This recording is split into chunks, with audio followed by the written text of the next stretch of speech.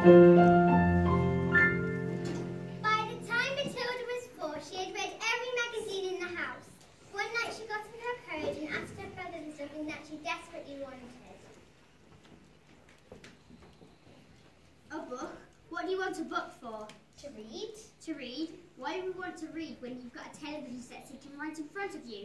There's nothing you can get from a book than you can't get from a television. Faster. Matilda already knew that she was somewhat different from her family. She saw that whatever she needed in this world, she'd have to get herself.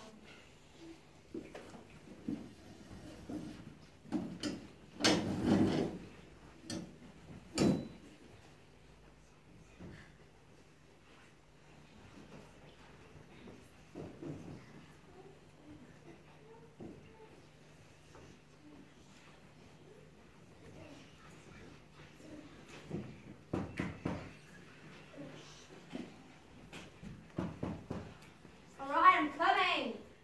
We don't want raffle tickets. We don't like charity. You know, cookies, chocolate, whatever.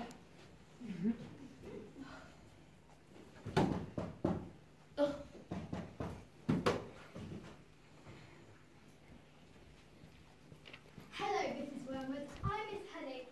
I heard that Matilda's starting her new school on Monday, on Monday, so I thought I'd bring her this book in preparation.